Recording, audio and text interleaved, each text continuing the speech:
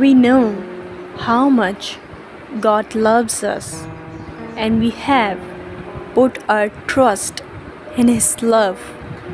God is love, and all who live in love live in God, and God lives in them.